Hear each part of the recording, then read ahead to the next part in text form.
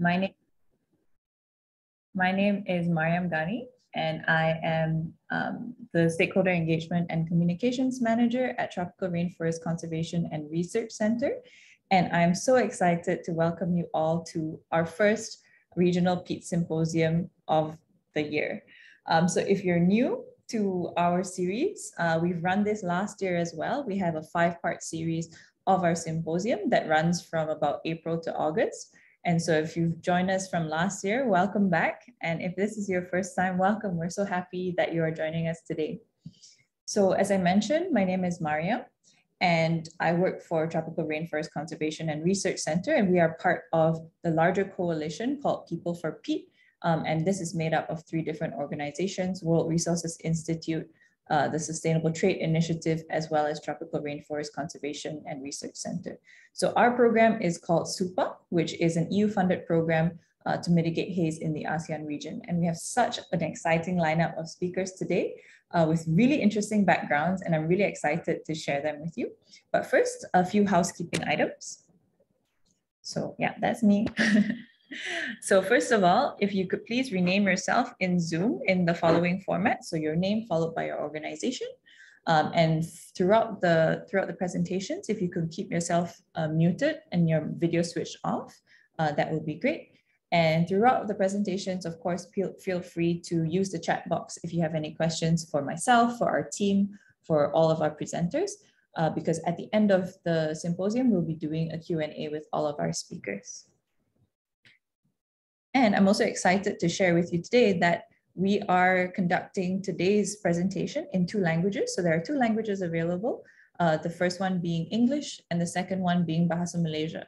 So if you would like to select any of these channels, click the interpretation button. Uh, make sure that's available to you at the bottom there. And it would be best if you click the language that you either speak in or listen in. So that would be ideal uh, I would suggest you to do that so that um, it'll be as smooth as possible. And you can hear our speakers in English and in Malay, depending on which your language preferences. Okay, so first, before we start, I wanna do a quick poll uh, just to find out where everyone's coming from. How did you learn about today's symposium? So let me launch that real quick. And uh, yeah, I'll give you a couple seconds to fill in the poll about where you're joining us from and how you heard about today's event.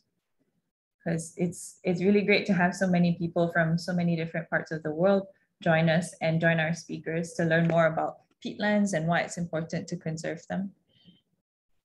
All right, so we've got about 60%,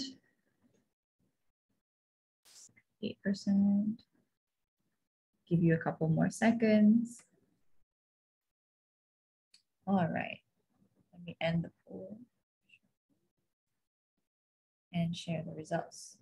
So it looks like a lot of you have come to us from our emails and our newsletter, which is great. I'm so glad you subscribed. That's great. Thank you for your support and thank you for subscribing to our newsletters.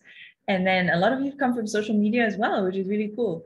Uh, so that means our social media marketing team is working. Good job, team. Uh, so yeah, no matter where you've come from, thank you so much for joining us today. We really appreciate your time. All right, so now on to the next thing, which is to introduce what our agenda is for today. So uh, right now we're just doing a quick introduction and I'll slowly introduce our host as well. And then we will have all these really exciting presentations from uh, Mr. Mr. Ilham, who's also known as Abang Ikan uh, or Brother Fish uh, in Malay. And then we will have both Dr. Al as well as Dr. Ronald Vernimmen uh, present on the importance of coastal peatland subsidence in the face of uh, in the face of climate change and sea level rise. And then we'll follow that with a panel discussion and Q&As while we close. So yeah, um, I'm very excited for you guys to join us for this. It's gonna be a really interesting discussion. So without further ado, I'd like to introduce my uh, wonderful colleague from the World Resources Institute, Tommy, uh, to give us an introduction about People for Peat. Over to you, Tommy. Uh, thank you, Mariam. On behalf of People for Peat Coalition, I'm delighted to welcome everyone this afternoon to our first series of Regional Peat Symposium of the year 2022.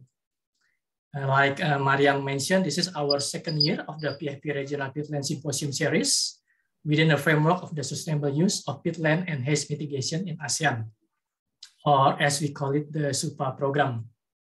The SUPA is an ASEAN-wide initiative supported by the European Union to sustain ASEAN's endeavors in combating transboundary haze pollution and peatland fires in the region.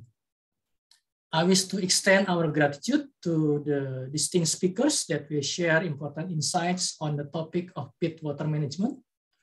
And finally, thank you and warm welcome as well uh, to our peatland project partners across the region who are joining us today. Now to set our high spirit this afternoon, let us start with a video from PFP.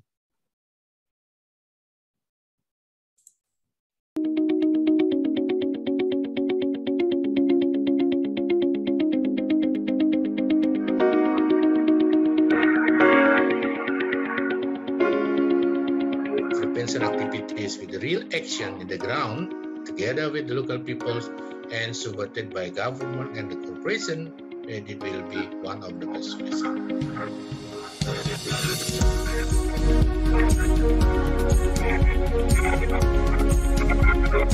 My hope for the Asian peatlands is that there will be more awareness amongst the general public, amongst the government, amongst the private parties, about the very important role peatlands play in regulating the climate, in maintaining biodiversity, and in providing an income for local and regional communities. So to maintain peatland ecosystem, it is essential to build capacity of local communities, especially in restoration and wise use of peat forest.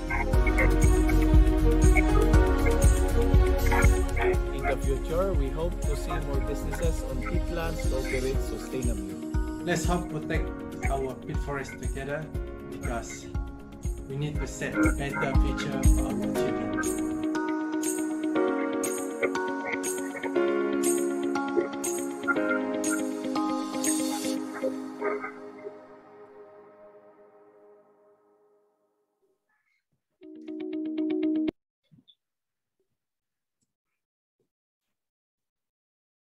Have you enjoyed the, the quick video from PFP? So we are doing the EU Sporty Super program, which consists of uh, two components. Component one is the uh, one that is now being implemented by GIZ, working with the state actors in the ASEAN region, while the People for Peat is working on a component two of the SUPA that is uh, focusing more in working with the non-state actors. And the coalitions of people for peat consists of is made up of uh, three organizations. Uh, we are the World Resources Institute in Indonesia, Indonesia, based in Jakarta, Indonesia. We have next uh, IDH or the Sustainable Trade Initiative or the Yayasan Inisiatif Dagang Hijau in, in bahasa Indonesia. Also based in Jakarta, Indonesia, Last but not least, we have a Tropical Rainforest Conservation and Research Center or TRCRC based in Kuala Lumpur, Malaysia. Uh, SUPA component two focuses on the three main challenges in the sustainable management of peatland in Southeast Asia. One is the lack of reliable data and information on the state of uh, peatland in the, in the region. And the next one is the limited options for sustainable business solutions within the landscape areas. In relation uh, with that, also the limited access to funding in peatland areas. And the, the final challenge is the lack of awareness and capacity in dealing with the peatland. This is the third year of the SUPA, and we had uh, done quite uh, a lot of activities with the uh, wide range of uh, stakeholders so on the pillar that uh, pillar one on the data information, focusing on resolving the challenges around the uh, limited knowledge on the peatland. We conducted a series of meeting, organizing a, separate, uh, a series of conference of parties and public webinars. And we also uh, collecting the uh, data on the on the peatland in areas. Based on the data that we collected, we provided uh, research grant to the 11 selected individual researchers in the area. So we have now uh, 11 researchers uh, working on the on the peatland research under the SUPA grant in Indonesia, Vietnam, Myanmar, Thailand, Laos PDR, and the Philippines. On the pillar two, on the business investment, we also conducted a series of meetings with uh, non-state actors on the sustainable business uh, collaborations, which uh, resulted in a series of workshops on innovative business and financing.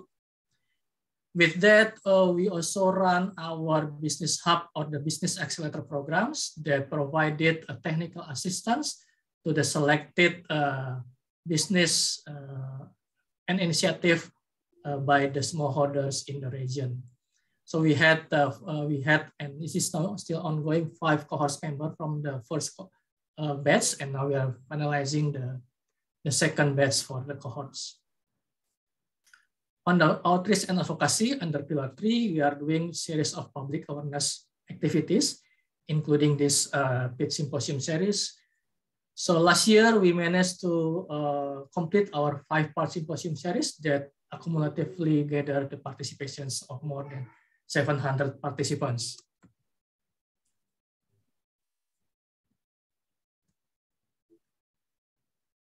So yeah, this is just uh, a bit of uh, spotlights of uh, what uh, we've been doing. So mostly as uh, as also many other projects within this uh, two years of COVID situations, most of our activities were done through a virtual challenge and uh, we are glad that uh, we managed to still uh, engage with a wide uh, range of stakeholders on the peatland in the area. So pass it back to MG for the next poll. Over to you, NG. Thank you so much, Tommy.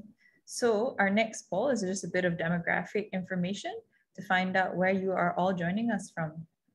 So yeah, do let us know which country you're coming in from, uh, I know there's no other. If, if you're not part of the ASEAN region, I apologize. Uh, but we will note that for our next future uh, poll. Very cool. So far, I get to see the results live, but I'll share them with you in a moment. I'll give everyone a little bit more time to complete uh, the poll, just to share where they're coming from, um, what country, and hopefully, you know, uh, we can see where everyone's at.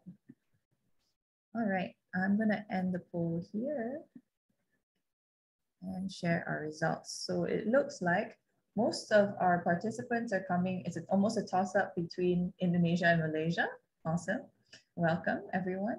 Uh, we have no one from Cambodia today. We've got one person, or yeah, maybe one person from Myanmar, uh, quite a few people from the Philippines, which is always great. Welcome, everyone, uh, as well as Thailand and Vietnam.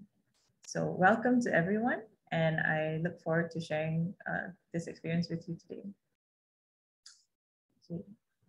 So now I'd like to introduce our first speaker of the day, uh, none other than Muhammad Ilham Norhakim Lokman, who is also known locally in Malaysia as Abang Ikan, which means fish brother or fish bro. I don't know if you want to call it that. And he is a citizen ichthyologist whose love for fish is contributing to the study and the conservation of the amazing diversity of our freshwater ecosystems. So he comes and joins us from Muar Johor in Malaysia, and he's traveled all over Malaysia as well as Indonesia to locate the country's fishes with the intention of documenting them for the future generation. So a very noble cause. So despite having no paper qualifications, he has since gained recognition by the University Tun Hussein Onn as an external researcher due to his passion and in-depth knowledge on fish species.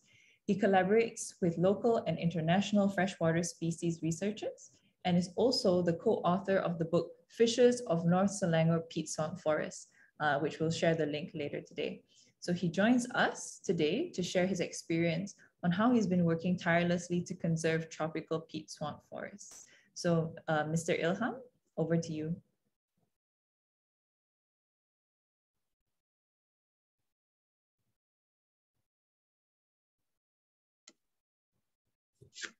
I will.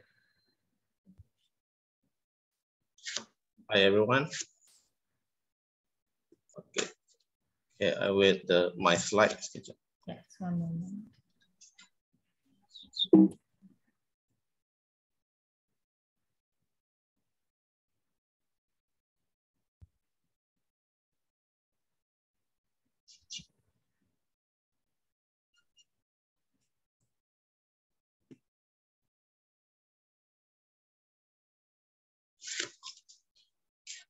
Okay, next.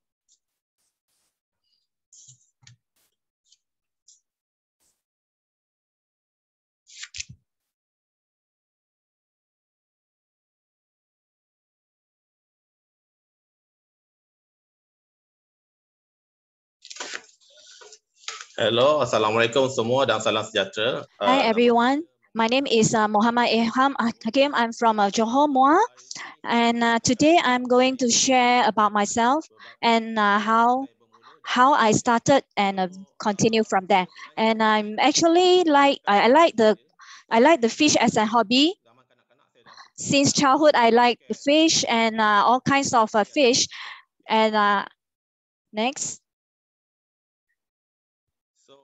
So from uh, so uh, I'm from a fish keeper from as a hobby and I've shared in my Facebook all about my discoveries.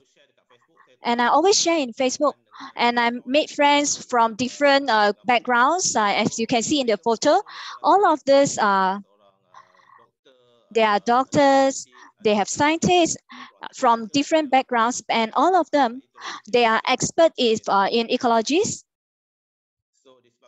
and uh, because I know them and uh, my connection enlarged, and uh, I get to know scientists from all over the world, from England and everywhere, and uh, and uh, including Malaysia, uh, whether it's from fishery or geology or pithology or friends from who are interested in all kinds of fields.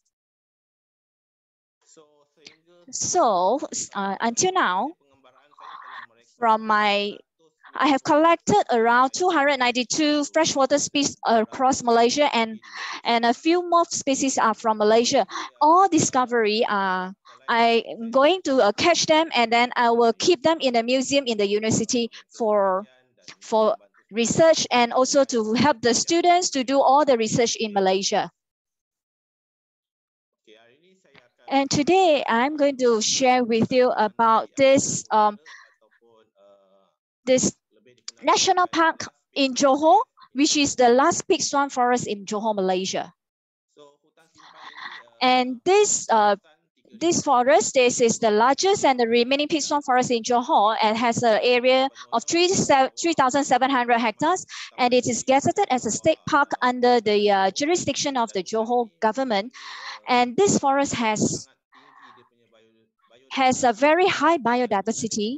And this forest it is this is a swamp forest and it is it is protected and it is the only forest that is being protected under the uh, gov uh, government of Johor. So in the year 2019, I have joined the uh, one expedition uh, that is organized by the Johor Forestry, whereby many of the scientists and experts from all over the Malaysia from different fields, they joined this expedition for four days. And I joined the group that is uh, focused in uh, on the fish, uh, ichthyology, and that, that is uh, regarding the amphibian.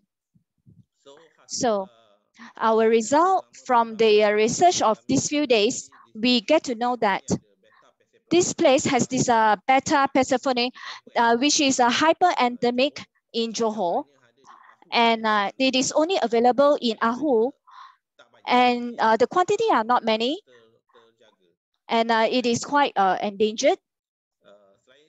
And a part of that, we also found this uh, betta coccina, and uh, this is only be found in Malaysia in this uh, jungle and there's no can't find in other places. If yes, you can only find it in uh, Jambi, Indonesia, and uh, this is vulnerable and almost extinct. And uh, it's very unique because it is in Malaysia. It's only available in uh, the forest of Ayah Hitam. Next. And a Cotyledemia cate, and this is also unique. It is very small fish, just like a sardine, or just like a just one cm. The size is only one cm.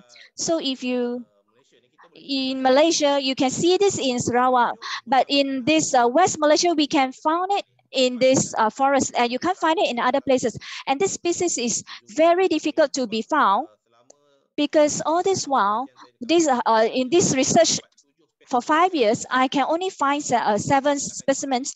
Uh, mungkin we can, uh, maybe we are able to find more, but uh, we still need to explore. But we hope that this fish will be protected uh, soon.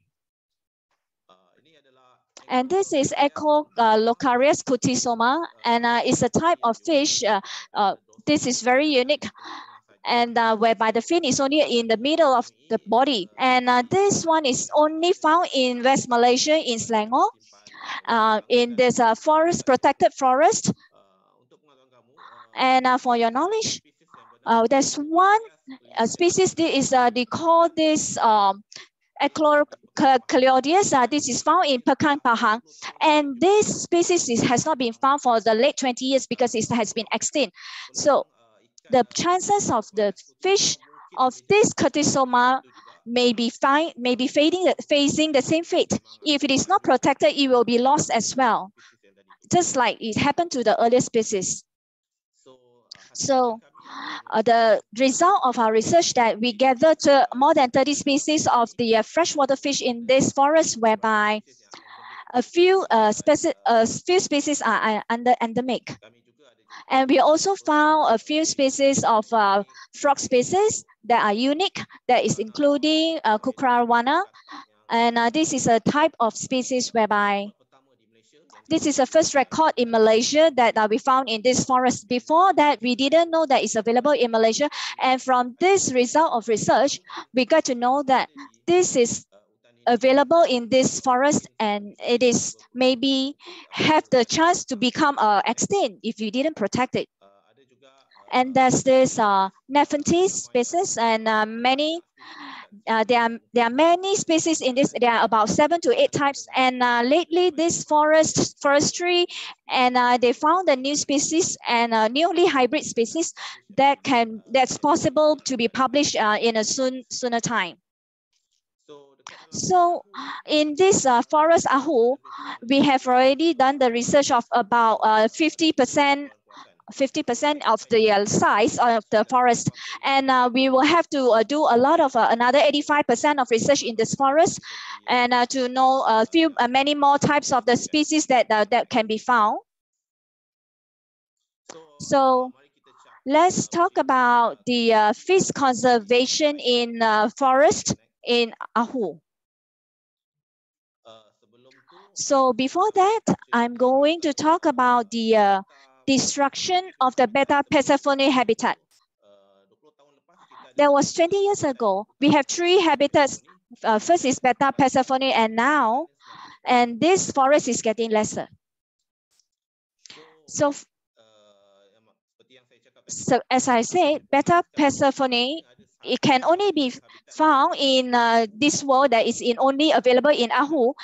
And this is the, this species can be found in Indonesia, but we cannot declare yet because uh, over there, it has not been uh, researched with details. And uh, we can only take note that this is only last known, uh, last known habitat in Malaysia. So this is the type of the local locality of the habitat that where we found this species for first time, which is 1986. So this habitat has been destroyed for in year 2008 and uh, now we cannot do anything because this forest is under the uh, private property. Therefore, we cannot stop them and we cannot do anything because this is this is a private property. Next. Yes, this is the habitat for this is uh, very famous in the world and whereby the scientists from over all over the world from German, uh, they come here to do research on fish. We called it this uh, swamp copy and this swamp copy, it is also the uh, private property. And uh, the photo has been taken by my friend Dr. Zaha. And this is a very beautiful habitat. And with this habitat, of this uh, Betta persephone, they stay in this kind of environment and uh, it looks like the water is very lacking, but this is the habitat. And uh, sometimes we may be, maybe not appreciating it, but actually the habitat, uh, the fish that is living in this water, it is very extreme type. Because this uh, certain uh, species, specific uh, species can only live in this water. For some fish, they may die in this water, but for this spe uh, species is very different. So this is the uh, Kopi swamp, and this is taken in uh, 2016. Uh, next. And this is in the year uh, February 2016. We catch the fish over here and there are a lot of uh, species and very interesting. And we can say that we need not go into these uh, protected forests because over here is still okay. And it's easier for us to do research and collection and uh, as a hobby as well, because we need not go into the deep of the forest. And uh, in a few months, this uh, forest is gone we couldn't do anything. We cannot stop anything because this is the uh, private property. So this uh, land in a few months is being destroyed. And this is the uh, this happened when the uh, plantation when they did they built this uh, drainage, and uh, when when you have this you have this uh, peat land but there's no water. So therefore the fish getting lesser and die. So from here, this uh, this photo that I shown earlier on, and this become the scenario in the 2016, and now it's become a plantation. So this place really is really gone, is really destroyed. So this is the uh, one of the species of the fish that we found in this forest. Uh, this is Boraras maculatus. And this is one of the uh, fish species, the smallest fish species in the world. It is one of the smallest fish. And uh, really uh, many fishes has died. And this is including Betta persephone. I found it and I rescued it I rescued for about 2,000 to 3,000 of them, and uh, most of them died because of uh, of this uh, forest being deforested and uh, and then the weather become hot. So this is the scenario after the uh, land has been destroyed 100% and so we share what happened at this forest in a group chat in the Facebook that is the uh, Malaysia freshwater fish. And this is one of the popular uh, face page, uh, Facebook page that is for the research on fish. So after we shared, many people share again what happened. And from people people who doesn't know about this forest they they thought nothing about this uh how, this forest. They thought it's just a jungle as usual. But they didn't know that there are many uh, species of this uh, betta persephone which is endemic. And uh, many people take action from here.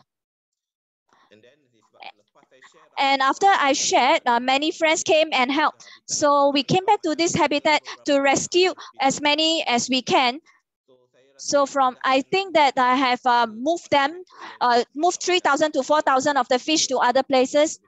And then uh, we can catch all these uh, betta coccina for about uh, 200 to 300. So uh, ni yang hari-hari terakhir yang dekat tempat yang cantik tadi, uh, memang okay, dah memang terlapau kering dah, memang tak ada apa-apa dah. Okay, next. Uh, so 25 spesies uh, eh sorry 25 uh, peratus uh, ikan yang saya tangkap saya 25% uh, of the rescued fish were given to um, to friends that are breeding the fish for breeding. and they breed it successfully. Next. we show what we have done in a doc in a TV documentary and it is shared worldwide what we have done and a lot have followed what we have done. I brought the TV crews to the habitat and we tell them what happened so that everyone understands the importance of this habitat. It is like the earth sponge. If this forest is not available, the forest will be uh, flooding and a lot will happen. Recently, I got the chance to work with Dr. Latif and his students to do a research on the habitat that is in the forest, forest reserve. So we do uh, monitoring, we do research, research on the ecosystem, and so on. Kaji beta pesco ni walaupun We beta don't just um, focus on uh, beta, although it's endemic. So we do research on almost all, including mammal, primate, uh, fishes. Sorry. okay, sorry uh, so Sorry. So we do research on all uh, related to fish, soil, and so on.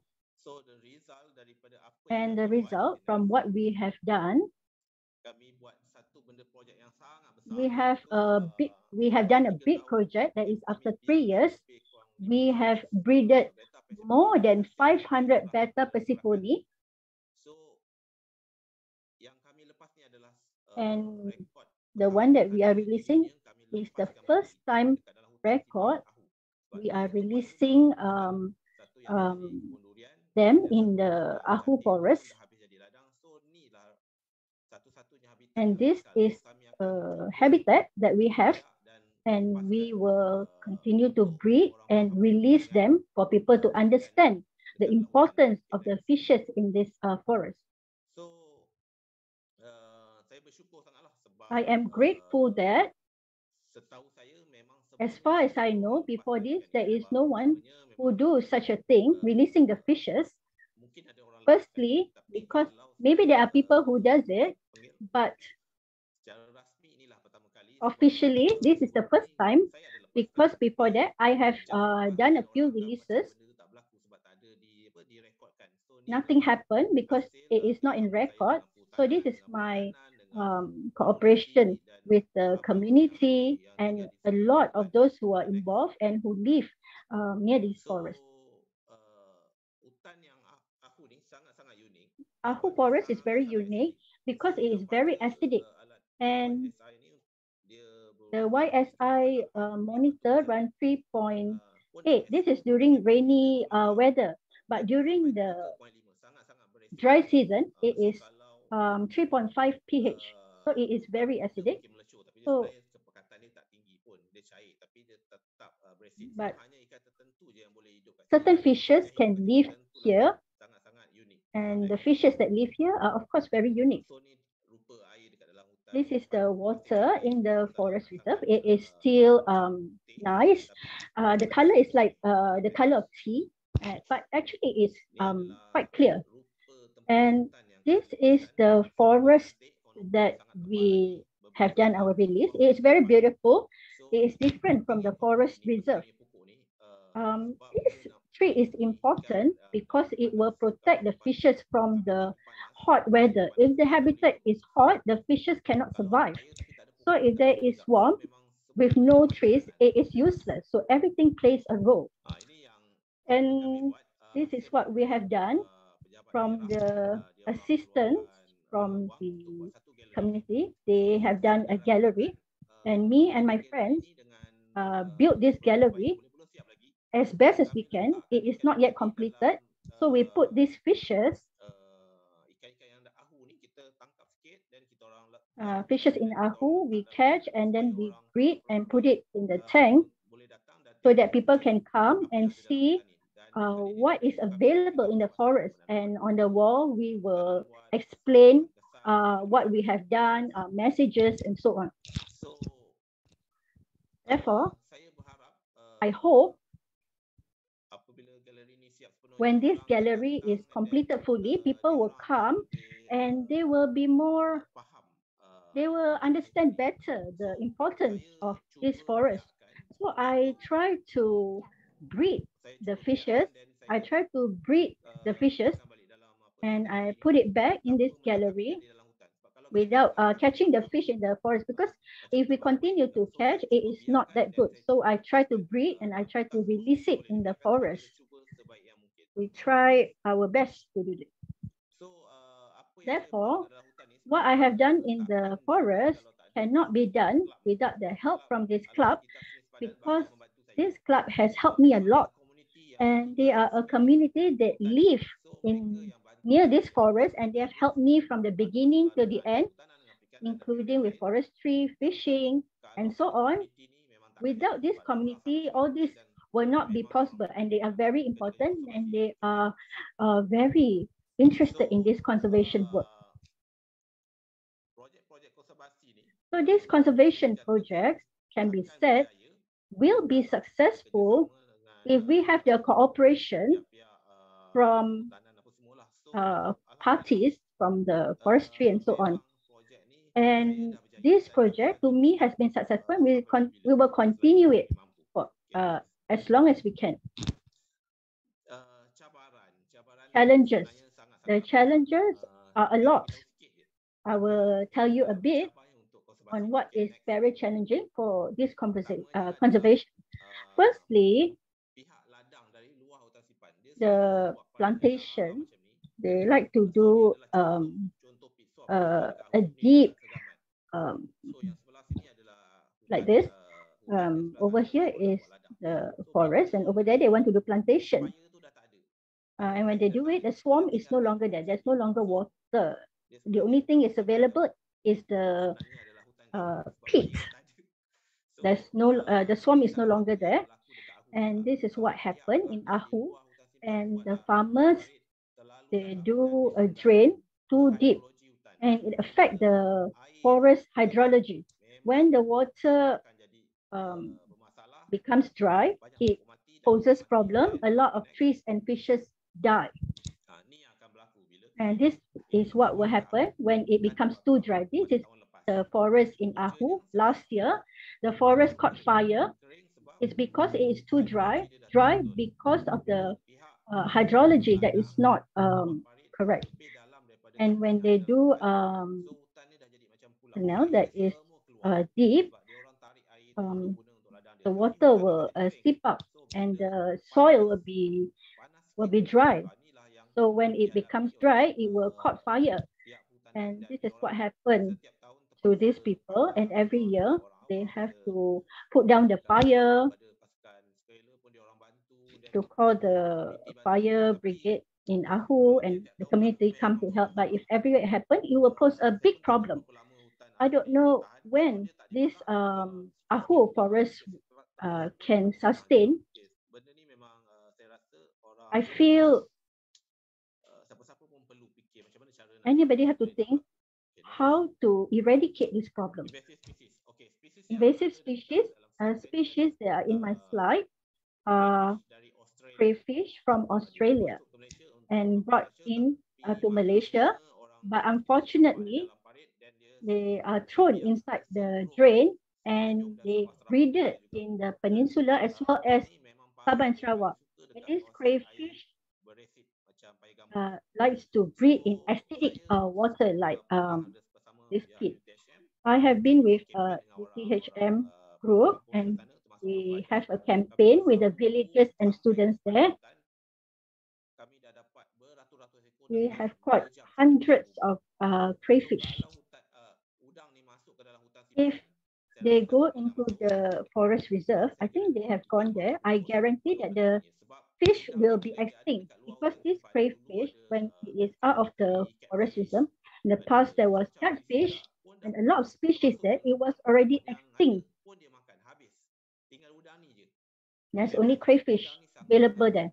And these crayfish will destroy every fauna and flora. They eat everything.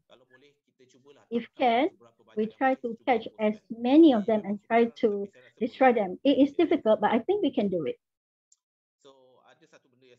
There's one thing that I have not mentioned on my failure is that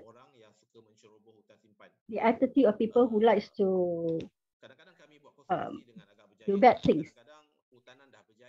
Sometimes um, we have protected the forest, but the public sometimes they will go into the forest and they steal the fish. Maybe they steal the fish, but it will not. Um, it it affects the ecosystem there. When they keep on catching, they know it's uh, precious, but try to breed these fishes. And if they want to sell it, can no problem. Uh, please try to breed, but not steal it if we continue uh, to catch fishes, it will give a negative effect to the natural ecosystem and it can um, affect the fishes. I hope this does not happen again. This is very important.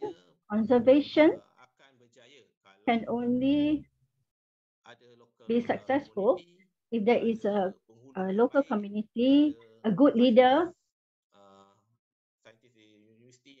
scientists in the university that can help, uh, forestry that can help, um, uh, local officers that can give assistance. If there's nobody that can help, it's uh, tough. So everybody who is involved should provide assistance and it will bring about a successful conservation. I will continue to help as long as I can, including my other friends.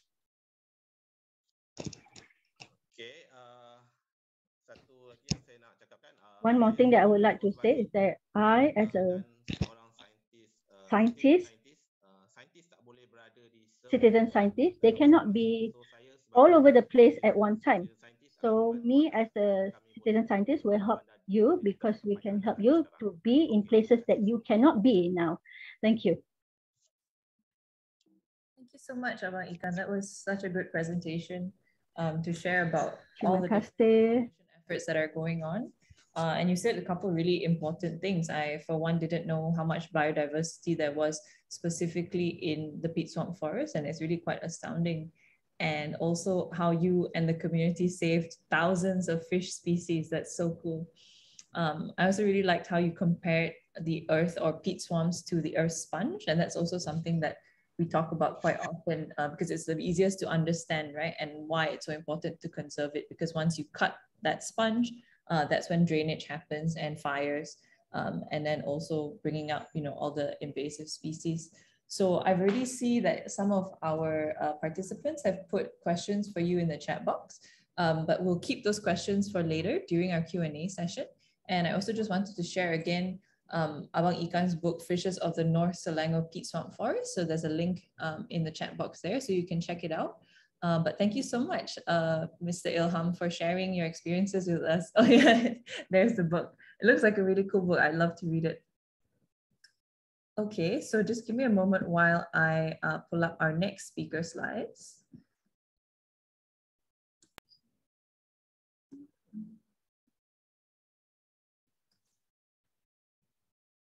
Okay.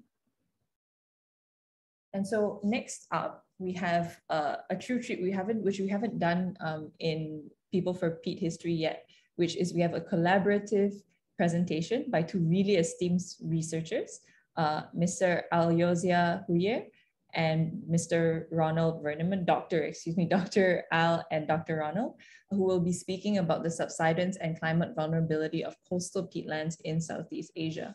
So Dr. Al um, joins us from Deltares, where he's a specialist advisor, and he's also a research professor at the National University of Singapore.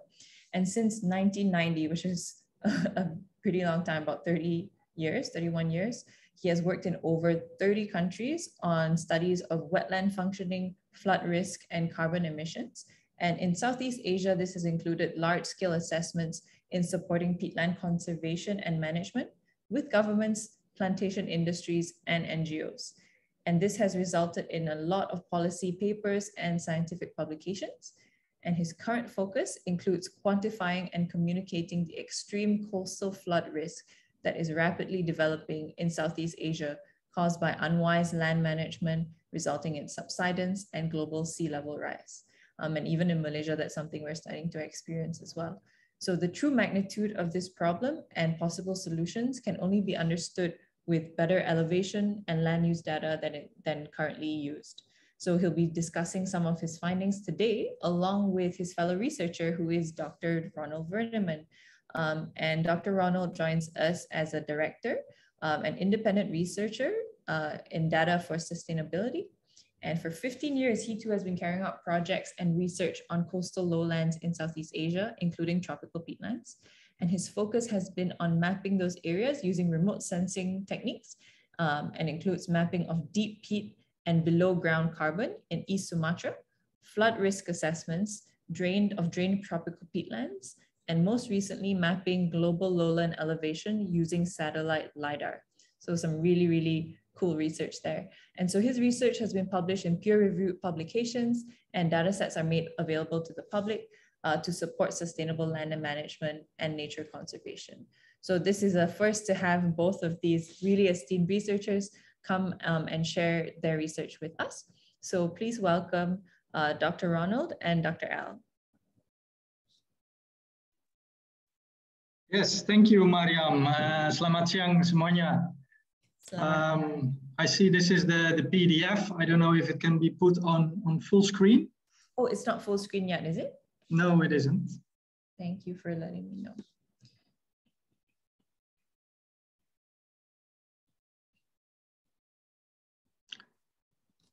So, all right. Ah, okay, thank you very much, uh, madam.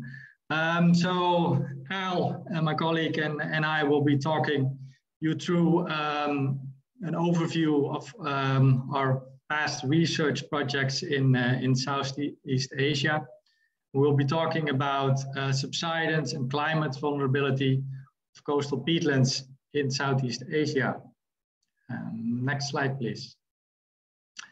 So some things we know, um, sea level rise is happening.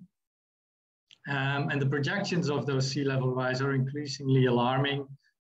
Um, Southeast Asia having the highest coastal subsidence. And peatlands in Southeast Asia may mostly flood because their base um, is uh, around mean sea level.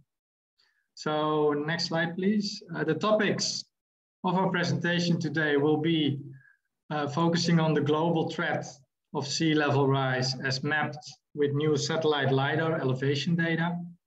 We'll be talking about peatland subsidence in Southeast Asia, um, about flood risk increase due to the combined sea level rise and subsidence, and we will provide and discuss some solution directions. Uh, next slide, please. So in the last couple of years, we have been uh, developing a global lowland uh, LiDAR elevation model from satellite LiDAR which is very accurate up to uh, half a meter, which is uh, at the moment uh, the best um, for global uh, elevation models. Um, and what we found using those data is that around half of the global land area and population most vulnerable to sea level rise, and we define that as two meter above mean sea level, is in Southeast Asia. And this um, research has recently been published in uh, Nature Communications. This was still using a relatively coarse elevation model, and currently we I have improved this to uh, one kilometer uh, resolution, and, but the research is currently uh, in review. Uh, next slide, please. So if we zoom in on Southeast Asia, um, you see here three maps going from left to right, uh, the current uh, situation uh, in 2020. And the middle part is then the elevation um, in Southeast Asia after a relative sea level rise of one meter. So combined sea level rise and subsidence of one meter. And then on the right, you will see the same area, but then with a relative sea level rise of two meters. So with one meter of relative sea level rise, you will have about 140,000 square kilometers, which will be below mean sea level after one meter of sea level rise. And this will increase until almost half a million square kilometers if this reaches two meters. And this may well happen before the year 2100. And accounting for peatland subsidence, this area under threat will be much greater, and especially in those areas which have the most uh, peatlands in Southeast Asia, namely in Sumatra and Borneo.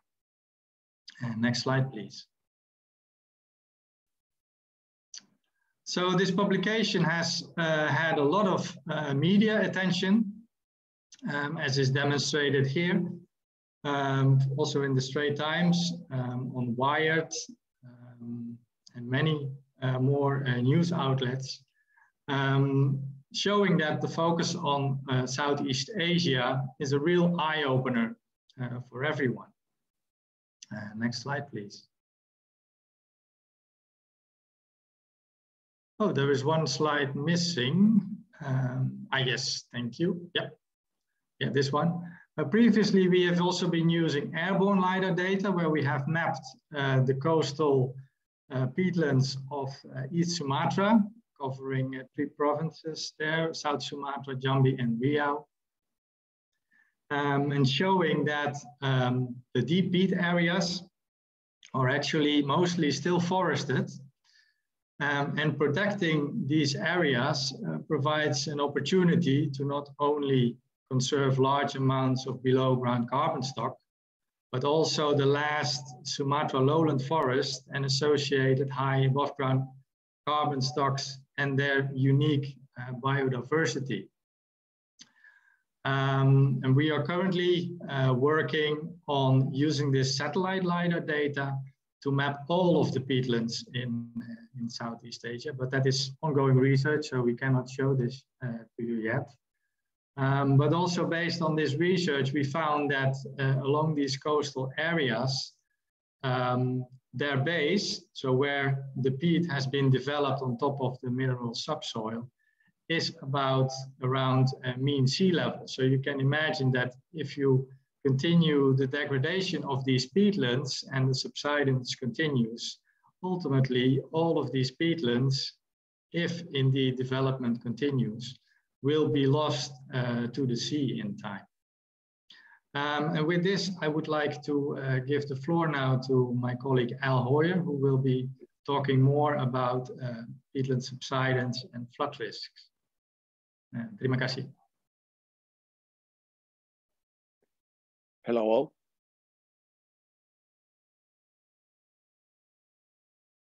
Am I visible? Yes, you are, Dr. Al. I don't see myself though. Uh, we can see you. oh, okay. um, okay. Um, Ronald introduced this presentation. Reminder that um, our translators are also trying to keep up. So uh, try and uh, speak a little bit slowly. That'll be really okay. Good. Thank you. I will try. No worries. Um, Ronald has, has opened this presentation mostly with material that is not uh, strictly relevant only to peatlands, because while working on this peatland topic of peatland subsidence and coastal um, flooding, we increasingly found that uh, it is not just peatlands. It's the peatland subsidence flooding problem is part of a much bigger problem that is focused in Southeast Asia. And uh, for this presentation, we thought it would be nice to to to present it as such, as part of a bigger problem um, the, the sinking deltas and sinking coastlines of Southeast Asia overall, within which the peatlands are sinking most rapidly. Uh, before I speak more about peatlands, just a step back on what are they really? Um, is this coming through well? I don't see any, I don't, I can't see anything actually now on my screen, so I'm not sure. Yes, Dr. Al, we can see. Uh, okay, okay. Visual. Thank you.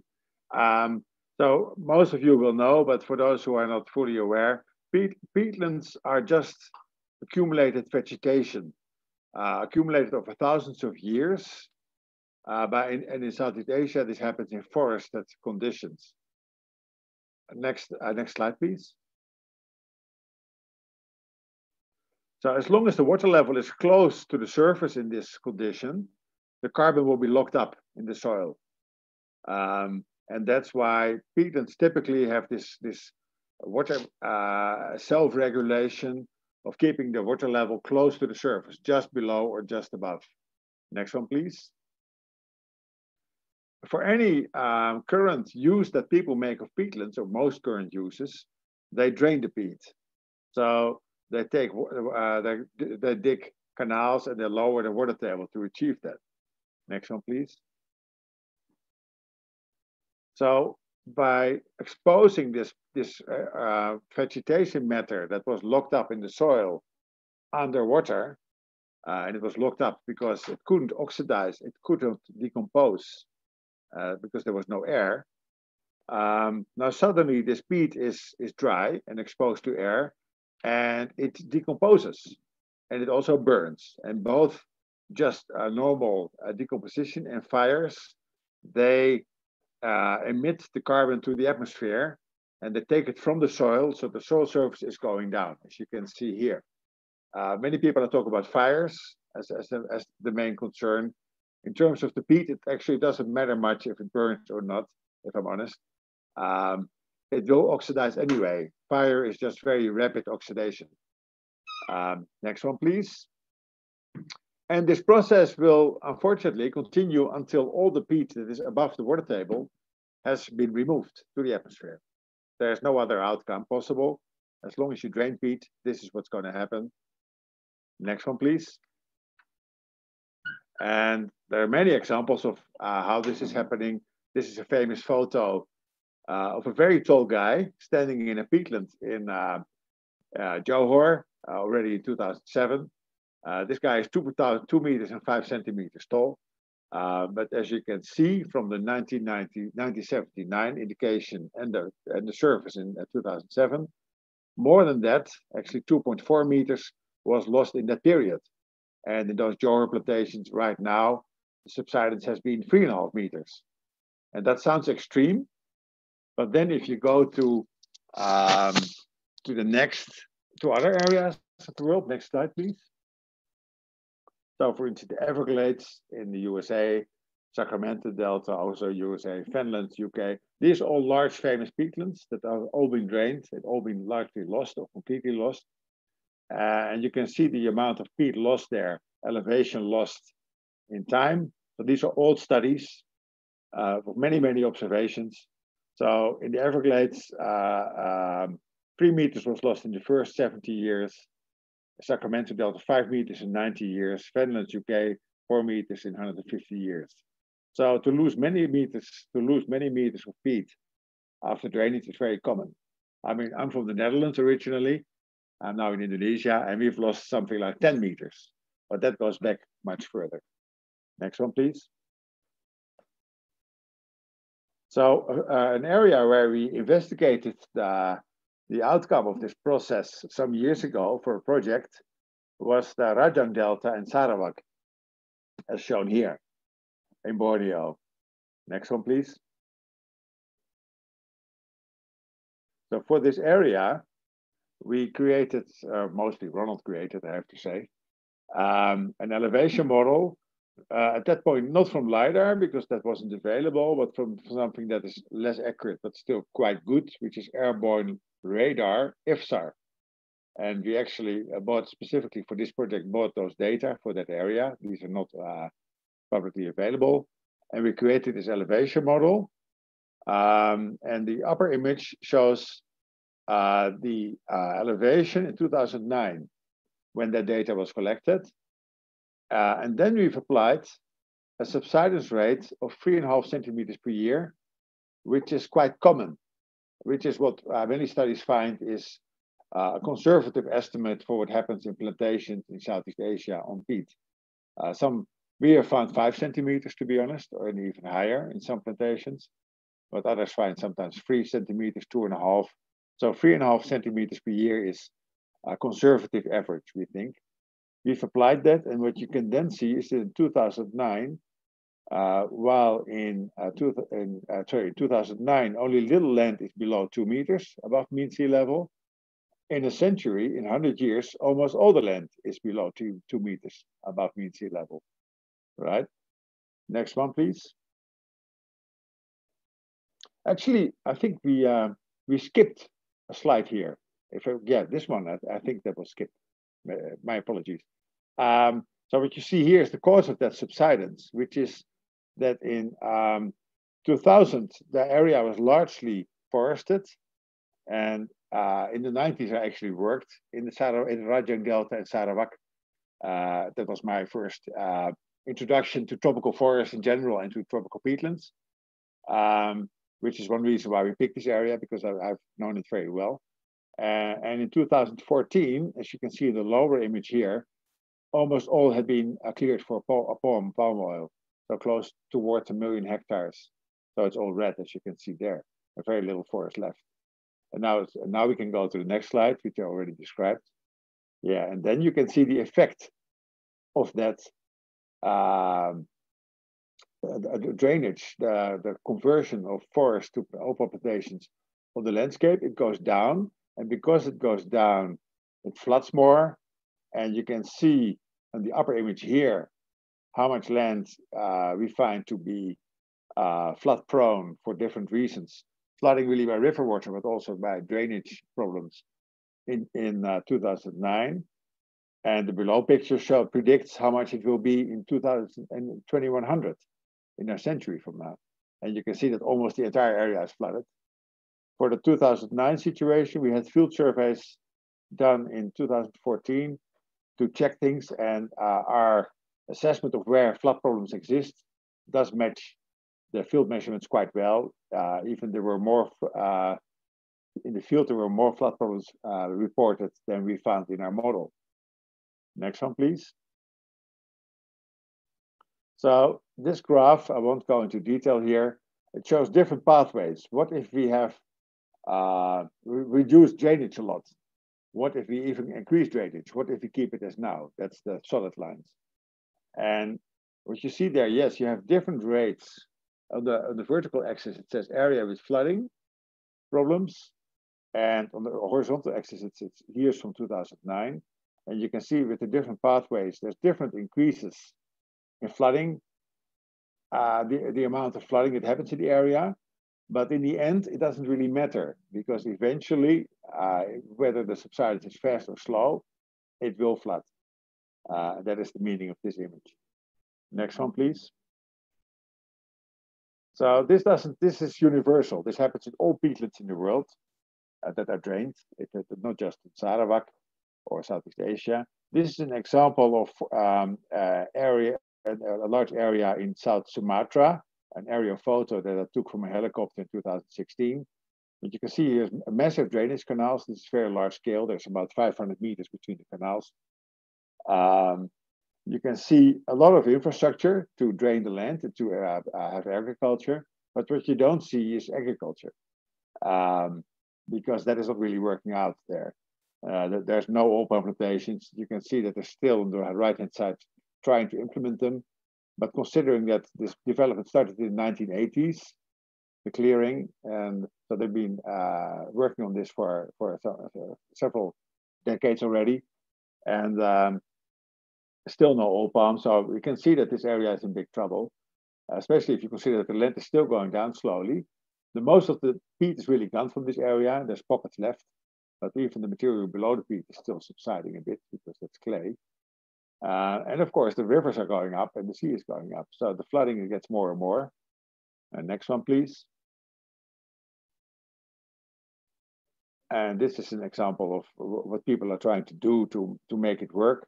You see an excavator creating more, uh, trying to create the land between the canals. Next one, please. Even to the point that every oil palm in this case uh, has its own little mound, its own little elevation to keep it above the flood levels, which may work for, for some time, maybe some years or even 10. But eventually, of course, with the subsidence and, uh, and the water levels going up, um, those palm plantations will not be viable unless people start uh, creating very large dikes and pumping systems like we have in Holland. But that is very costly. May, it may be possible, but you would have to uh, be very sure uh, it's feasible economically before you start doing it. Um, next one, please. So what's what's solution directions do we have here? Um, it, the threat of peatland drainage to carbon emission and land subsidence is now quite recognized by most Southeast Asian governments, I would say. I mean, people are talking about it. It's, it's no longer denied as it was like 10, 20 years ago by some. Um, there's many guidelines. Governments uh, are even saying, well, this is this is what you need to do to uh, mitigate it. People are not talking about avoiding the problem, but about mitigating it, uh, reducing it. Um, but that still means it's, it, uh, the flooding is going to happen, right? Apart from the carbon emissions. So what are the possible uh, directions? So if you go to the numbers, we can have business, business as usual. Uh, so we can just keep doing what happens now, which is keep growing crops, often suboptimal because of the flooding problems. Uh, the yields may not be so high, uh, and they will certainly decline as sea level rises and investments are uh, will also uh, be, be less and less because uh, investors don't like to throw money into conditions that are not improving, right? Um, the, the, second one is gradual unplanned abandonment. Uh, once land, land is abandoned, abandoned because there's too much flooding, vegetation returns, but no real forest ecosystem. So what you get is a wasteland with no real ownership and high fire risk. We see this in large areas throughout the region. Uh, that's very common. Um, polderization is a third option. Uh, dikes and pumping, as I just mentioned. Um, to control the floods, this is possible uh, if, you, if you have the, the high technical capacity to do it. It's very large scale. Uh, it's very expensive. It's very complex. Uh, it, it, may not succeed at large scale. Um, certainly, you would need very thorough cost-benefit assessments before you go into bank on it if you consider that the area where this would be needed is uh, to altogether for Southeast Asia more than 10 times the area that is polderized in the Netherlands. And the Netherlands, the estimates vary, but uh, the, the, annual cost of, of keeping that system intact is at least 40 billion euros a year. Um, so if, if you would have that, the Dutch system in Southeast Asia, that would be 400 billion euros a year. That is bigger than most economies in the area. So uh, that would be extremely expensive. Um, but it may be possible. We're not saying it's not possible. Um, the, the, fourth option is planned zoning and optimization. So some areas can be polderized where it's more hopeful. Uh, others can be planted with crops that are uh, flood tolerant. Uh, uh but we say uh, others need to be protected so nature can return. Um, in some areas, you want to uh, limit urbanization and infrastructure uh, and, and to have the money in certain areas where that are more suitable. So what we see now in our assessment is that we have business as usual. It's beginning to change to two, uh, gradual abandonment. Uh, free is, is being talked about, um, but there's no real large scale trials of how that would work. Uh, it, again, it may be possible. We're not saying it's not possible, um, but if, it, if if countries want to try it, it's better to start testing it soon, I think. Um, four, according to international organizations, the, uh, they often say that's the most sensible scenario. So that's uh, planned zoning optimization, a lot of conservation, but some uh, production, uh, but not no one size fits all solution. Um, but that means a lot of long-term uh, and large-scale planning, very careful planning, and a lot of data. Uh, and you need to defend, develop alternative markets for new crops that are flood tolerant. Uh, and you need to uh, have quite forceful implementation because the local stakeholders may not all want, want the same thing. Uh, some want to wait for another 20 years. Others are very eager to change now. Some will never want to change. So this can only work if large landscapes are managed in, in certain ways, and that takes uh, a, a, powerful uh, government, basically. Um, and it also takes public-private champions. It takes companies to uh, to go there. Next one, please. So for that, what we think is the optimum solution of, of, of very careful planning and see what's possible where, uh, you will need very detailed land elevation models. And these have been lacking so far uh, in the region.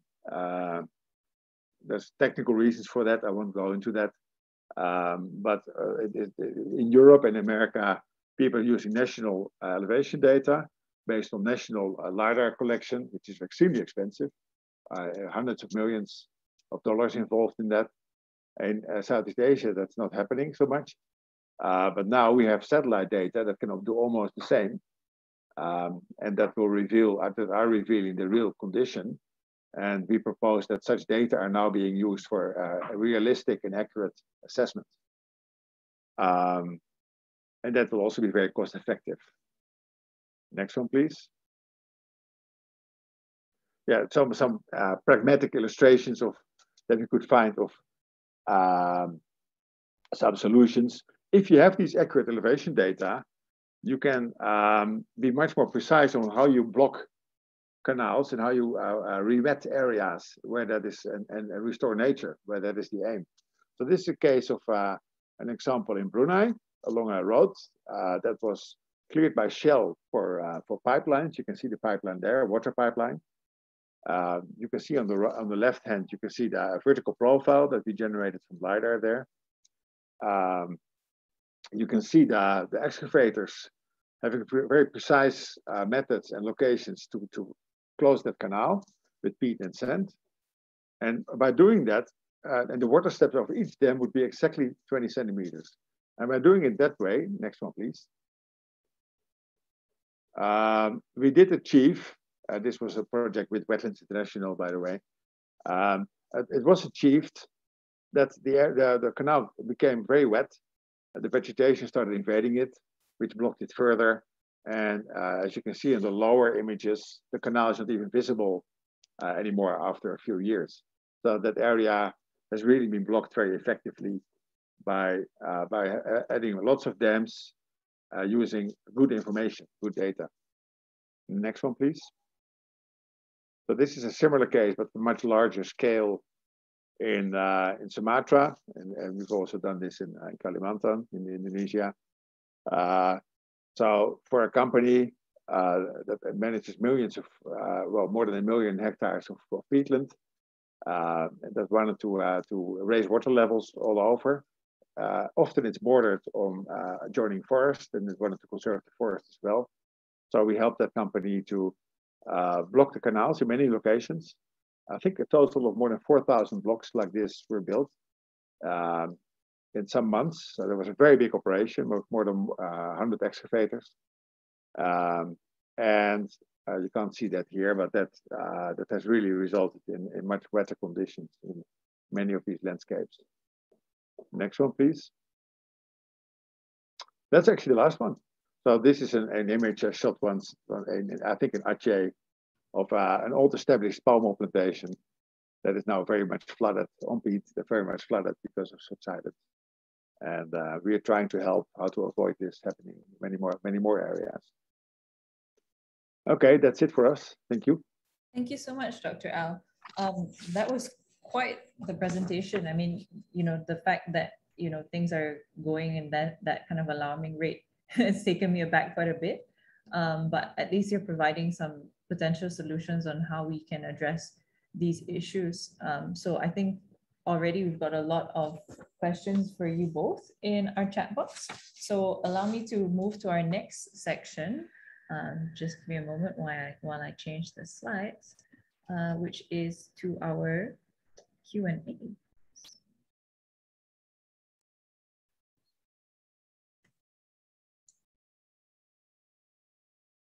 Okay, so we've just heard from both Dr. Al as well as Dr. Ronald. Thank you both so much. And oh, let me launch one more poll before we get into um, our before we get into our Q&A. So this is our last poll of the day. Um, what do you think, who do you think um, is most responsible for mitigating flood risk on peatlands?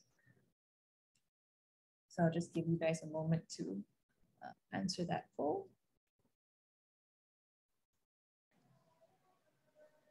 Videonya dah. Okay.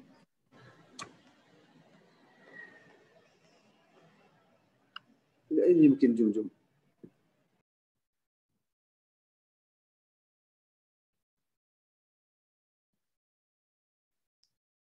All right, I'm gonna probably end the poll here. Eh, okay. Tapi saya kau nggak nampak.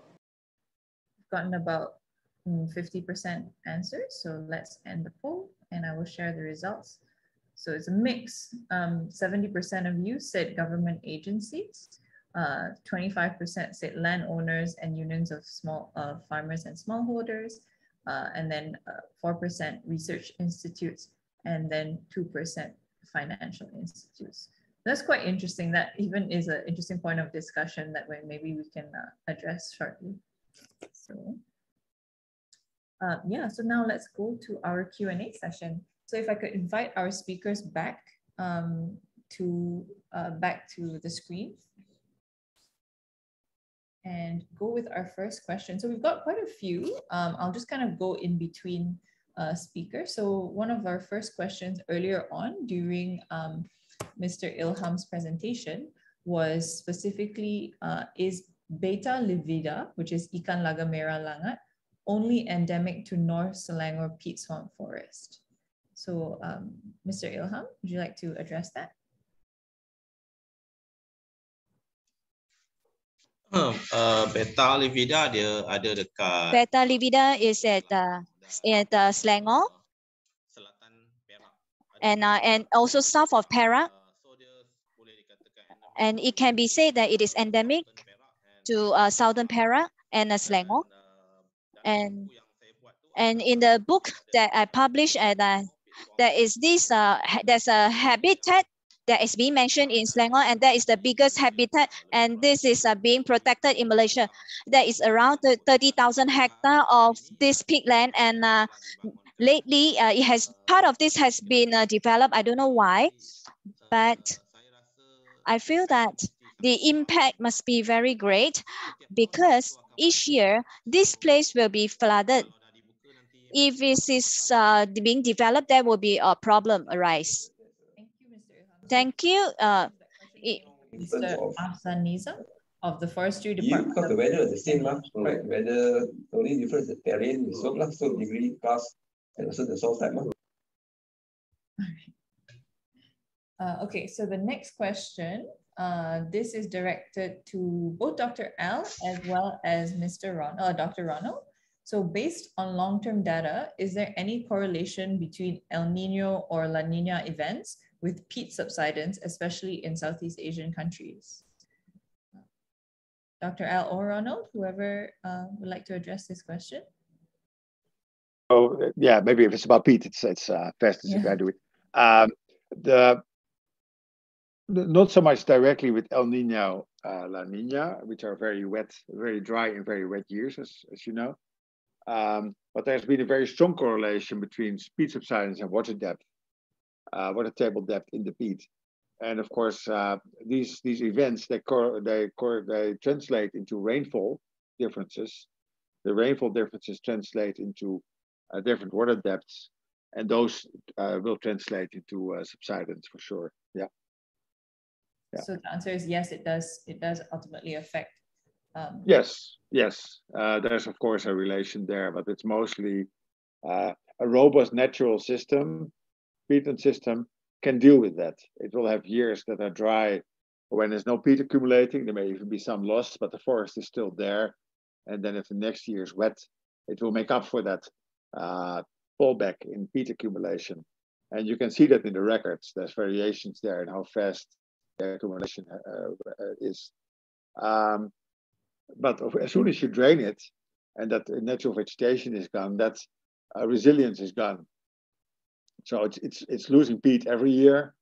Subsidence is happening every year, but it's happening even more in dry years like El Nino. So you're saying in an in if the peat wasn't disturbed, uh, while there will be flooding and drying, but it's because peat naturally is regulating those issues, it wouldn't have been an issue, right? But because of the peat drainage that's been happening, that's where we're seeing these effects. Absolutely, yeah, yeah, yeah.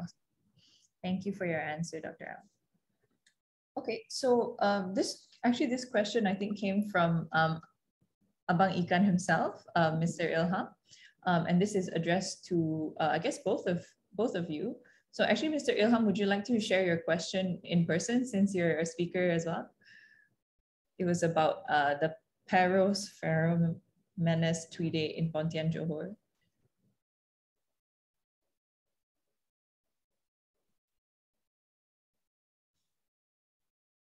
yeah, we have a problem uh, because this species, because this species are now living at the uh, canal uh, in plantation. So dia sekarang hidup hanya dah tak ada hutan dah habitat dia semua dah because there's no forest and everything has been extinct and uh, it only has uh, in in this uh, peat swamp in the plantation, but un unfortunately, every year when it's flood season, the the government will will will just uh, excavate and then uh, this peat swamp and uh, eventually will be on top.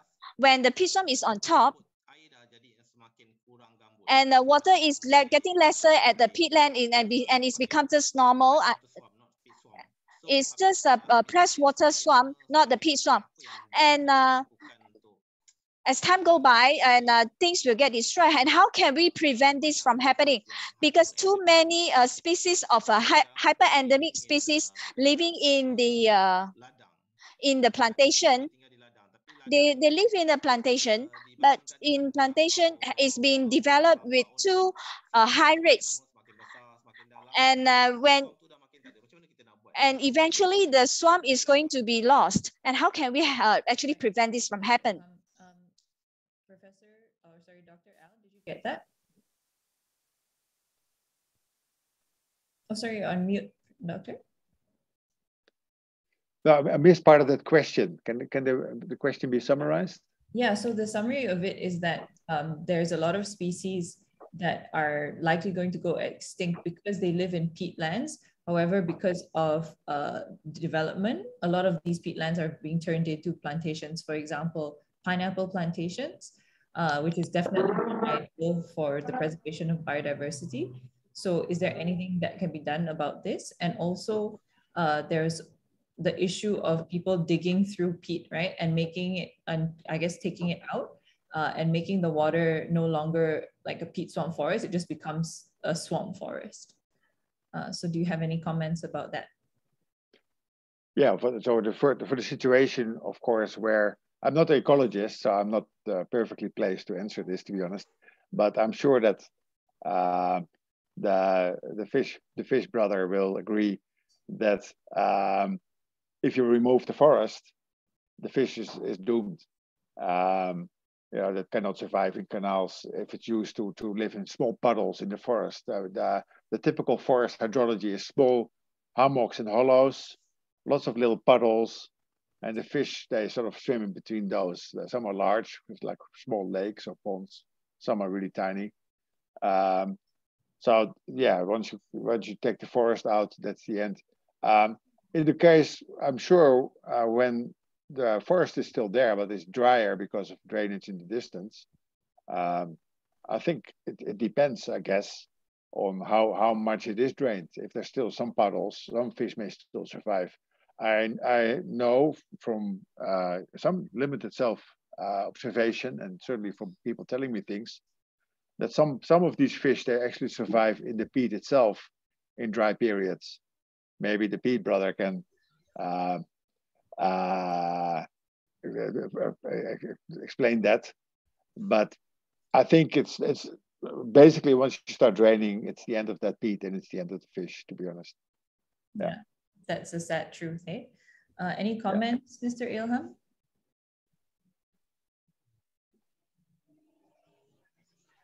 Oh, thank you, thank you. All right. Um, there's an interesting question here from Rafik of Spiral Blue Australia. And the question is directed to Mr. Ilham, but I'm kind of curious how um, both Ronald and uh, Dr. Ronald and Dr. Al might answer this in a way as well, which is Muhammad Ilham, uh, great work indeed. Do you have any in situ conservation regulations on private properties? And have you ever tried to educate and motivate property owners?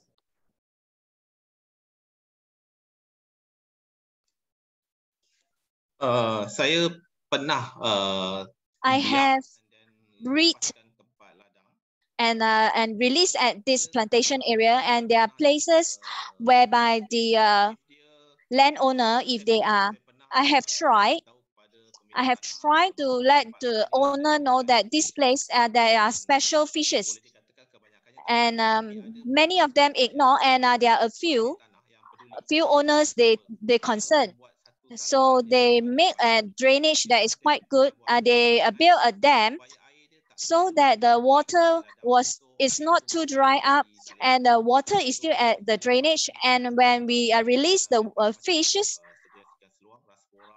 uh, a, a, different species of fishes, and um, they can actually uh, live well in those places because they built a system, hydrolo a hydrology system that is quite good. And uh, sometimes there are a few species of uh, uh of the peatland uh, that can live in the uh, plantation area if we, they apply the technique that are good.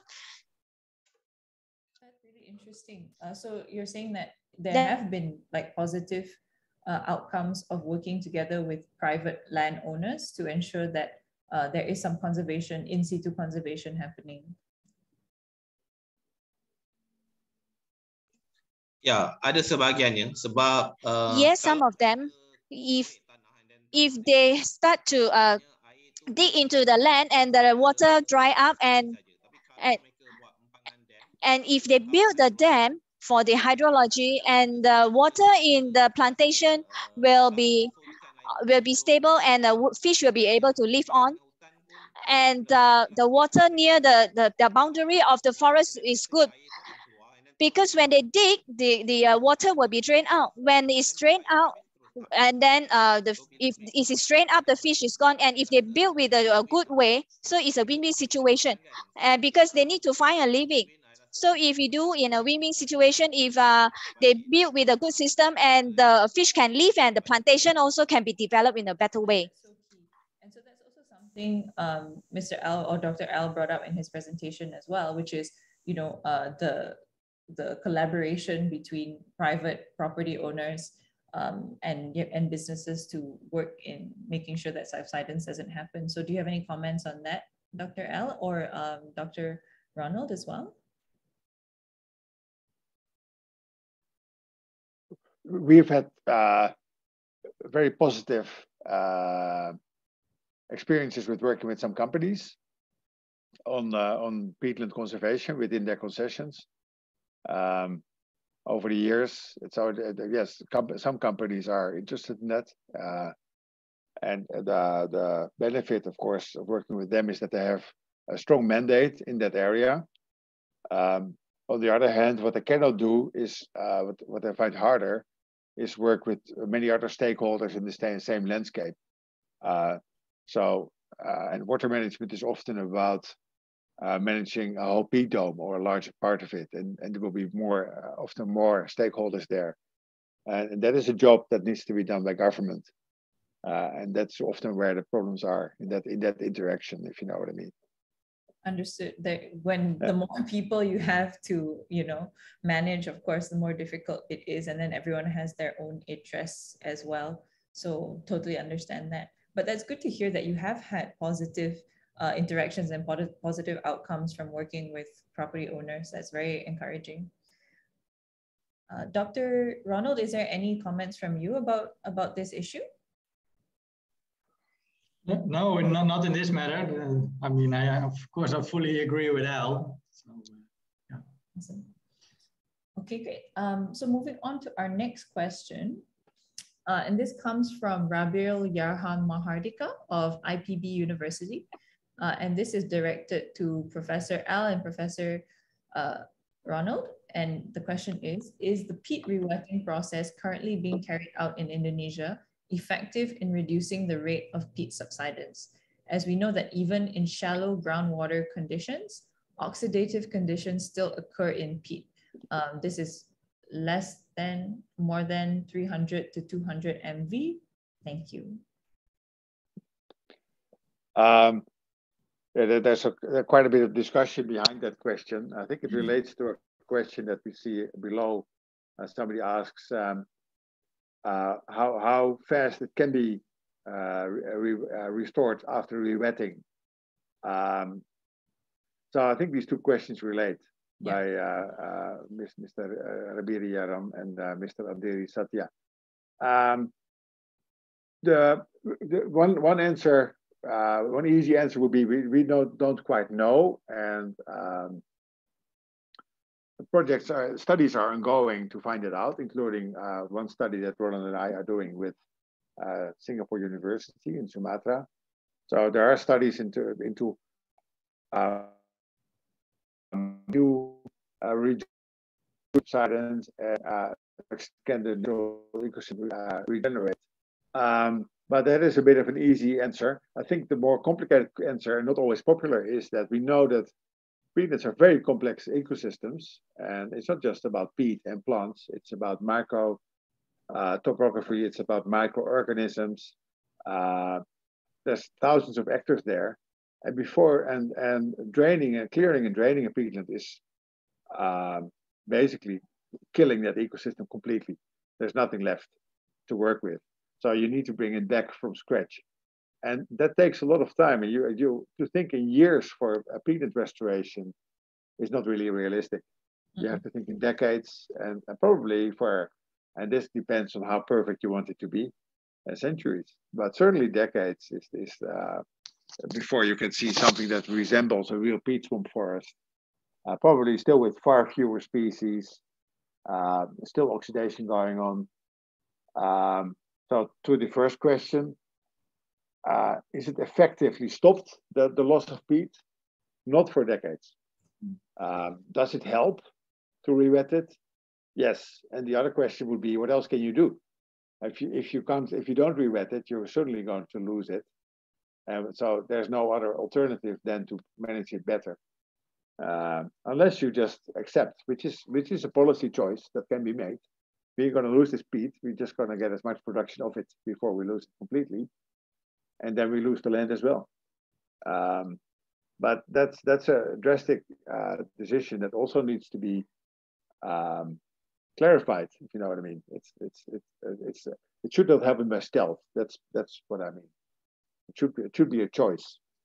Are we going to lose this land or are we not going to lose this land? Right that's that's a really key way of putting it. You know, we people have to make the decision uh, rather than just status quo and then try and reverse it later on, right? That's a little too little, too late, is what you're saying a little bit. Yeah, definitely. Yeah. yeah. All right. So there's a couple other questions related to rewetting. So I'll leave that uh, since you you just kind of answered that as a whole. Um, and then that moves us to one of our last questions, I think, uh, which is by RD to everyone, which is peatland areas in Southeast Asia, especially Indonesia, are located in lowland and coastal areas that are also integrated with mangrove ecosystems or mangrove swamps and play a vital role as irreversible carbon. So how to mitigate decomposition emission from this connected landscape? And I mean, this is related to your earlier answer, I think, as well, but I'll let you address that. All right. Um, well, it, it's very true that originally uh, you would have integrated mangrove peatland ecosystems uh, throughout Southeast Asia and actually throughout the tropics, also in Africa and uh, South America, but mostly in Southeast Asia. Uh, unfortunately, it's also true, and it wouldn't be just mangrove and, and uh, peatlands, it would also be freshwater swamps, which is basically uh, freshwater, unlike a mangrove, but it's not peaty, unlike a peat swamp. Uh, so the, the usual order is to have lagoons, mangroves, freshwater swamps, and peatlands. And then you get into the hills and the mountains, the, the, the dry land. Um, there's very few places left in Southeast Asia where you still have that sequence left. Um, I'm not aware of any in uh, in Malaysia. I, I, know one or two places in uh, um, Sumatra where they still live, the Kluet area in, in um, Aceh and uh, Sembilang National Park, Sembilang Berbak in uh, South Sumatra, Jambi. They still have this sequence more or less intact. Papua still has it. I'm not sure about other locations. Um, so that's one, one part of that answer. And the other part is, um, is there a link in, in how to manage the carbon in these landscapes? I'm, I'm, I'm not entirely sure how to answer that. Uh, it's, it's, biodiversity, yes, that, that should be, it's important if you have mangroves and peatlands next to each other to manage it as one landscape, and that will benefit the overall biodiversity uh, because things can migrate between the two. Um, if um, if they're separated, is it still important to link mangrove management to peatland management? I'm not sure. It may just complicate things, uh, to, to be honest. I'm, I'm not so sure. It, it, it, yeah, I have no answer there. That's fine. All right, thank you, Dr. So we just got another question come in from Rahma Alia uh, Zahra. Uh, and this is about LIDAR. So based on your previous analysis, Mr. Hooijer, how good is the correlation of LIDAR data based on statistical analysis compared to field elevation data to monitor the peat subsidence? Could it be uh, accessed as mitig to mitigate as an early warning system? Because this data really matters, especially in vast wetlands in Indonesia. Or maybe, um, is there something Ronald would like to answer? Yes, I would be happy to give this one to Ronald. Uh, let, let Ronald answer that. Yeah. Awesome. Yes, yes, I can. I can answer that. Well, um, you need to understand that, as with all measurements, uh, there is a, a, certain amount of uh, uncertainty, and also with um, I'm talking now about airborne lidar. There is an uncertainty of about 10 centimeters.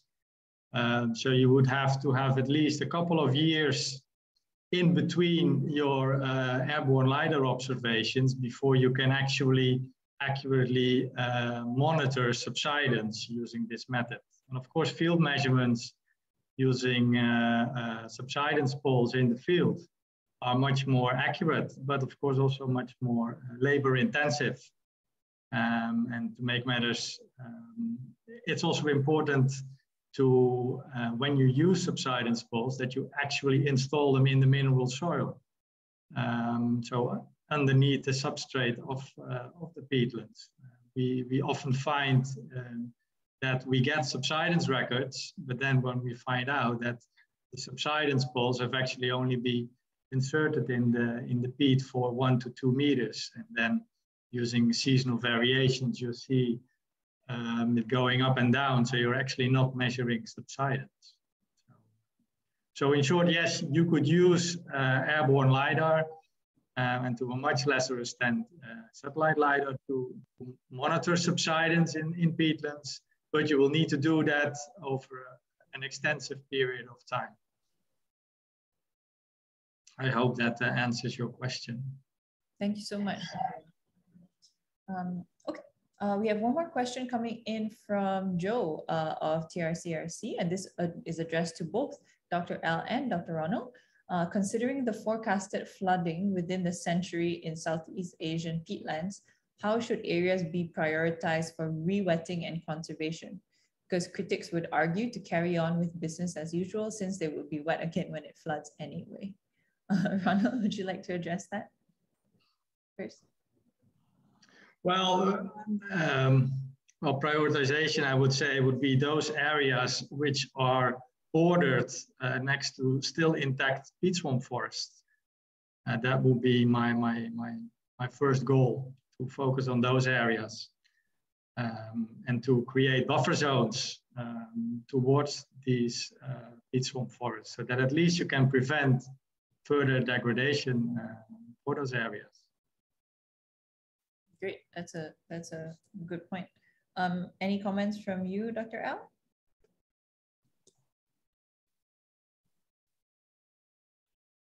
Oh, you're on mute, Dr. Al, sorry. You're on mute, sorry, Dr. Al. Yeah, apologies. Um, just to add to uh, Ronald's point, so uh, uh, Mr. Joe's uh, last line, Critics would argue to carry on with business as usual since they would be wet again when floods anyway. This goes back to what I said earlier. I think it, governments can make a decision to just lose land, right? Um, it's it's it, it, could be a rational decision. Um, I, I, would advise them to have a, a backup plan uh, from where to get the future uh, production and and other uh, functions they get from the land, but it, that could be a decision. Um, I would I would warn against by saying, well, it's it, peatland should be wet anyway. So what what is wrong with uh, letting them subside and then flood? Um, peatland wetness is very delicate, uh, balanced uh, system that has been evolving over thousands of years. As I said, it's it's little hummocks and hollows. Uh, it has allowed uh, thousands of species to evolve only there, as we just heard from the fish uh, expert. Um, and th there's value there. There is a value, intrinsic value that can, maybe cannot be monetized so easily, but in my, uh, I'm, a, I'm a, nature lover. I think that has value by its own, uh, regardless of how much money you make off the land. But that is for everybody to decide. Um, the flooding that you get after you subsided it and uh, it goes down is just blanket flooding by river water. There's nothing um, uh, by ecologically interesting going on then. It just becomes part of the river floodplain. It could be a very bad part of the river floodplain because it still has a high organic content and many things don't grow properly on that when, when flooded. Um, uh, in the worst case, and that is actually linked going back to the sea level rise point, it's not even the worst case, it's the likely scenario. In the longer term, it will be turned salty. It will become not just uh, wet, it will become saline, and you have effectively lost the land. You have changed the coastline. And that is really, it's not a doom scenario, it's a very realistic scenario of what's going to happen in large parts of Southeast Asia. And again, just look at the map of Europe and Netherlands, but also England, the Finland, many areas have been lost and reclaimed over the centuries, like, precisely because of this process, right? Draining the peat, draining the lands, uh, lowering them, they get flooded, they're lost to the sea, and then uh, in many countries, but mostly in Holland, they have reclaimed it. So it's land again, but below sea level. Um, so that is the, the future for, for uh, so, uh, coastlines along, for instance, Suma, uh, Sumatra and, and uh, parts of Sarawak. Uh, uh, the, the, coastline will recede by tens or hundreds of kilometers. Um, so that it's not just about flooding; it's really about land loss. That's basically the future. Yeah, that's a key distinction. Yeah. Thank you very much, Dr. Al. So I don't think we have any more questions, but that leads me to my last question for uh, all three of you, which is we've talked about a lot of, especially in terms of, you know, land subsidence and, and like not worst case scenarios, but realistic scenarios. Uh, what then gives you hope for the future in terms of um, our peatlands in Southeast Asia? Uh, I'll give it to you, uh, Dr. Al, and then we'll go uh, down from there. Well, actually, we show the slide giving some hope um, I think it was slide number seven, uh, where Ronald showed the map and the profile uh, along Sumatra coast some years ago, but I think it hasn't changed very much since then, where we do show that although a lot of peatland forest has been lost uh, and a lot of peatland has been drained, the deepest peatlands, uh, uh, which, which has the greatest carbon resources, but also a lot of forest, still exist. Um, if you protect those areas, which is maybe only 20, 25% of the original peatland extent, you have uh, salvaged more than 50%, maybe 75% of the remaining carbon, and you salvage those peatland ecosystems. And for instance, we see that happening, uh, not without some issues, but it is happening, for instance, on the Kampar Peninsula in Sumatra, which is a huge, maybe the biggest peat dome uh, certainly in Southeast Asia, maybe in the world. It's a huge area, 700,000 hectares, peat more than 10 meters deep.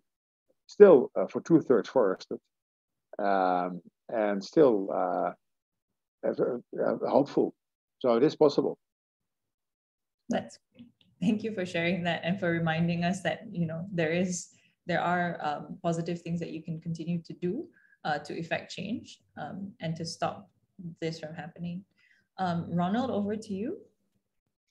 Yes, I, I second that, of course. Um, and on, on, top of that, I mean, we know so much of those peatlands, of their functioning. I mean, we all know what needs to happen, right? You need to stay out of them. Uh, create at least a buffer zone between the existing uh, forested uh, areas. Don't open or allow to open uh, peat swamp forest for, for development because yeah, unless the government really wants to, of course, uh, and, and, they will have their reasons. But um, we all know what can be done to, to stop it, or at least not to, to further make it uh, make it worse. So there is hope. I mean, we see that the degradation is halting at least in, in, in certain areas. So uh, let's hope it stays that way. Um, or otherwise, we, yeah, we all know what, what is going to happen and and ultimately that's then a choice of course of uh, the respective governments it's, we can only provide the science and provide the data um, so that good management decisions uh, can be made. Absolutely. Thank you for summarizing that, Dr. Ronald. All right, over to you, uh, Mr. Ilham. What gives you hope for the future of peatlands?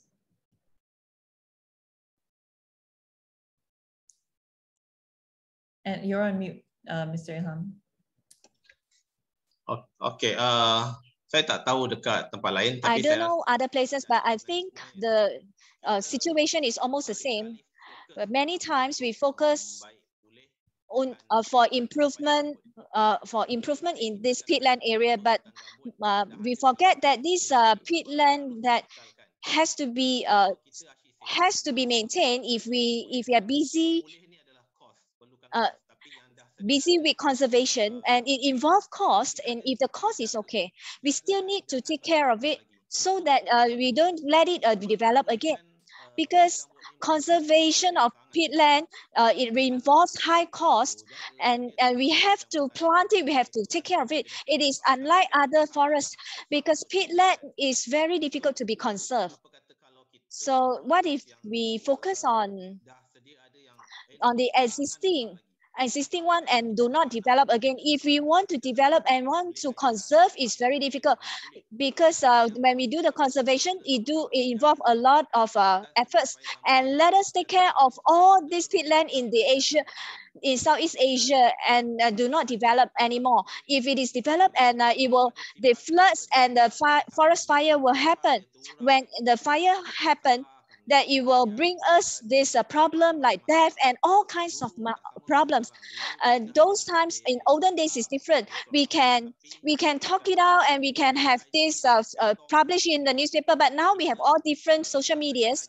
Not only me, not only me that we, uh, all of us that we can work together. Then uh, let everyone and also government and anyone the importance of the peatland. Without peatland, we will surely have problems. Thank you.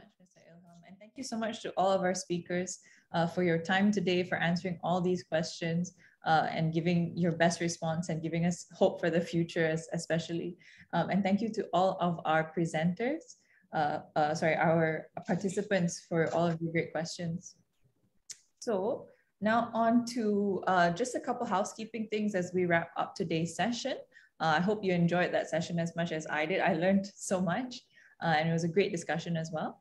So if you had fun today and you learned something new, do join us for our upcoming symposium series. So we're concluding today uh, on peat water management.